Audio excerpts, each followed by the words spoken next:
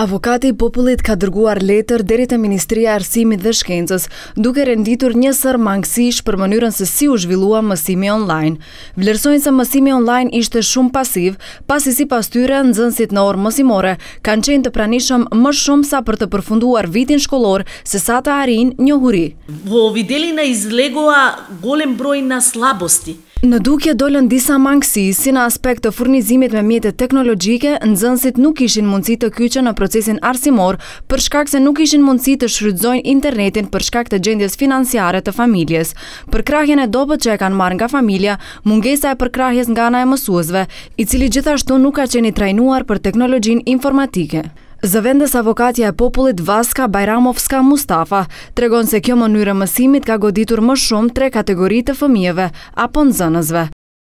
Ata që jetojnë në mjedise rurale për shkak të pamundësisë që të kyçen në internet, ata që vijnë nga familjet sociale për shkak të pamundësisë për të siguruar mjetet teknologjike dhe ata me nevoja të veçanta për shkak të pamundësisë së adaptimit të mjeteve didaktike për nevojat e tyre. Propozojnë që në miratimin e protokolleve arsimore të kyçur të jenë edhe prindërit, nxënësit dhe shërbimet profesionale të shkollave fillore dhe të mesme. Vaska Bajramovska Mustafa vlerëson se tash është koha që Ministria e Arsimit dhe Shkencës dhe Byroja për Zhvillim të Arsimit të tregojnë se gjatë gjysmëvjetorit të dytë dhe pushimit veror kanë punuar dhe do të kemi një zgjidhje e cila do t'u sigurojë nxënësve arsim cilësor. Vo praksa da prikazhat deka Në praktikë të tregojnë se kanë punuar me përkushtim për tejkalim të këtyre mangësive që të mund të kemi edukim të fëmijëve, sepse jo rastësisht arsimimi është çelësi për shumë punë në suksesin e një personi, në ndërtimin e tij si person, të mos vijmë në situatë të dëmtojmë gjenerata të tëra dhe të përfundojmë arsim i cili do të jetë pro formë,